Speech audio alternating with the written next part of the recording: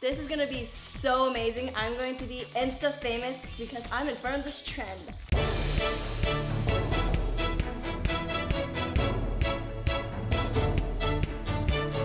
Hey guys, welcome to Jade is Arielle. My name is Jade and let's talk anime. I have a surprise for you, but I'll get more into that later in the video. But first, let's talk about My Hero Academia. Episode 13, which is the most recent episode, literally had me on a roller coaster of emotions because Eri is now playing a big part into what happened in this epic episode because we found out her power and it's like healing or some more than just healing.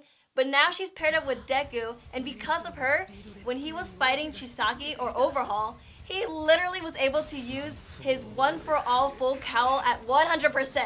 And we've never seen that before, but it was so epic. Now that I think about it, if Chisaki was an actor, how would he have prepped for that scene? Because that was such a good scene. Okay, so here's the scene. You are having a big fight with Deku, and you have to be afraid, so show me fear. Action! Okay, we are getting somewhere. Imagine, right now there is no All Might or All for One. You think you're scary, but you just realized Deku at 100% full cowl is the scariest thing on this planet. Now show me scared. Good. Good. I love it.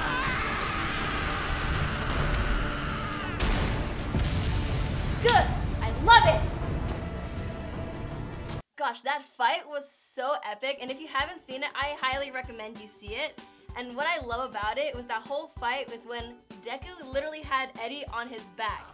And it's kind of so cute to see because you just saw how much Midoriya didn't want to separate from her. And when he literally said that he was going to protect her, the best way he did was fight with her on the back. It was such great teamwork because she's healing him and he's fighting, but it was just so cute. It kind of reminds me of Tanjiro and Nezuko from Demon Slayer, and if you haven't seen Demon Slayer, it's about Tanjiro who's a demon slayer and he fights demons, and his sister is actually a demon.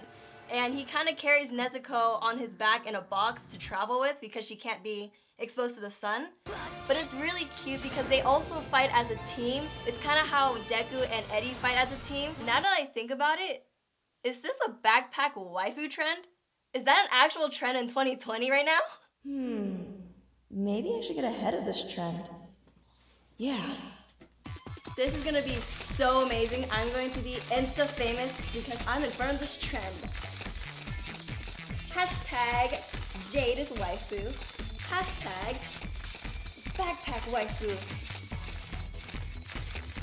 Oh my gosh, you guys, Winter 2020 is off to a really great start because one of my favorite shonen animes is back and it has its original story with a young man who is trying to aim for greatness and get recognition from everyone. And he is paired up with an unlikely partner who's like the polar opposite of him. And then they kind of have this rivalry, but they also work together to achieve their dreams. This anime is no, it's not Black Clover. Let, let's start this over. The anime is... It's not Naruto either. Naruto's not even on anymore. It's actually Boruto, and no, it is not Boruto. It's Haikyuu, people. It's Haikyuu. Haikyuu, guys. Moving on, for the WTF of the week, WTF of the week. Jupiter. Yeah, do you know that planet, the big planet in our lovely solar system? The planet that we thought has been protecting Earth from asteroids and flinging them away from us? Well, guess what? News just came out that Jupiter was actually throwing those asteroids straight at Earth. What the heck, Jupiter? Like, I thought you were our friend. It's like your best friend who you love and trust so much ends up stealing your boyfriend. Yeah, it doesn't matter how many times I invite her to my house to sleep over or how many times I invite her to go on my vacations. It's just. you get it. But guess what? I'm not gonna take this laying down. You hear me, Jupiter? Where's my phone? Open Twitter. Put.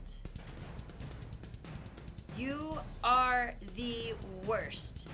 Hashtag F you, Jupiter. You know what you did. Tweeted. Take that, Jupiter. Now, I would love to thank you guys, my viewers and subscribers, for constantly supporting me. And to thank you guys, I will be giving away one of my anime figure collections.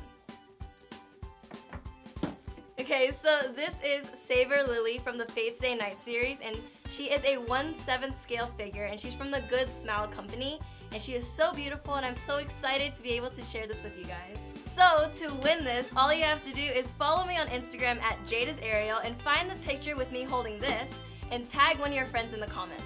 So I will be picking a winner on Sunday, so good luck to all of you, and may the odds be ever in your favor.